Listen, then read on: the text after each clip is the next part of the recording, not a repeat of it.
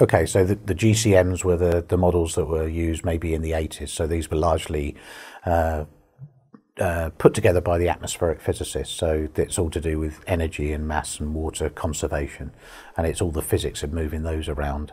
Um, uh, but they had a re relatively limited um, sort of representation of how the atmosphere then interacts with the, the ocean and the, and the land surface.